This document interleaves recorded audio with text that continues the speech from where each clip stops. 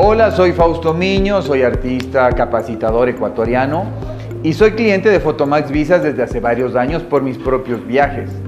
Y nos pasó algo, pues, eh, familiarmente que fue un poco difícil, porque resulta que a mi esposa le, le negaron dos veces la visa de turista a Estados Unidos, por razones varias.